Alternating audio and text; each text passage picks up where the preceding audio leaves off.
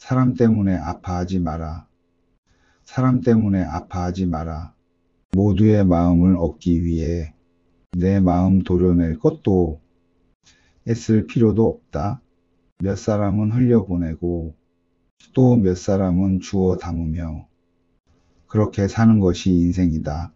살면서 부딪히는 인간 별종들은 무심하게 무시해주고 나를 아껴주는 사람들에게 그 사랑 돌려주며 사는 것만도 충분히 바쁜 게 인생이다. 결국에는 모두 지나간다. 어떤 기쁨은 내 생각보다 빨리 떠났고 어떤 슬픔은 더 오래 머물렀지만 기쁨도 슬픔도 결국에는 모두 지나갔다. 그리고 이젠 알겠더라.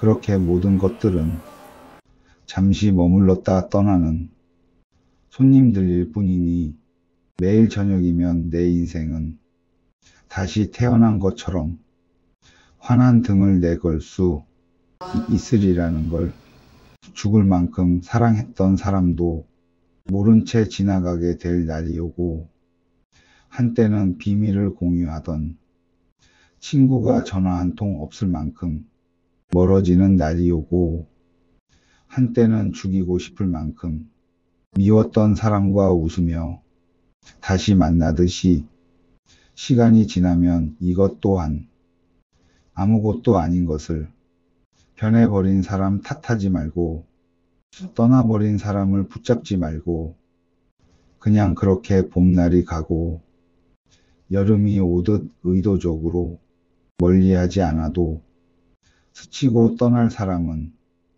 자연히 멀어지게 되고 아둥바둥 매달리지 않아도 내 옆에 남을 사람은 무슨 일이 있어도 알아서 내 옆에 남아있더라.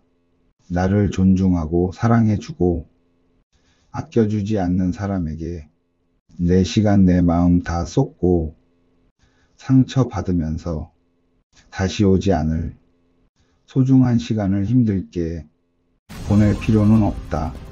나보다 못난 사람을 짓밟고 올라서려 하지 말고 나보다 잘난 사람을 시기하여 질투하지도 말고 그냥 있는 그대로의 나를 사랑하며 살았으면 좋겠다야.